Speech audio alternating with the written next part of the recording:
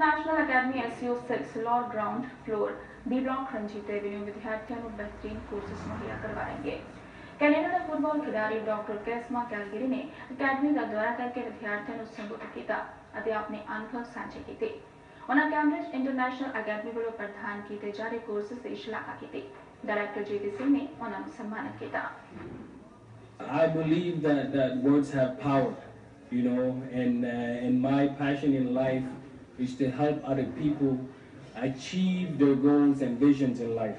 Every person has a gift from God. Now, whatever your vision is, whatever your dream is, I want to help you achieve that. This is a wonderful environment. You know, the students are great, the teachers are so friendly.